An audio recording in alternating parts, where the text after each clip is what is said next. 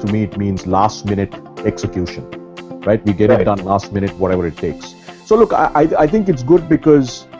you know it's good in that you know we can get stuff done even if it's last minute even if you know there's no planning but but to get to be world class in anything whether it's in process in technology um, i think two things are required right that that are not really at the heart of jugaad one is is is long term planning right and the second is you know, having core processes that scale. I mean, those two things are sort of the antithesis of, of, of Jugaad.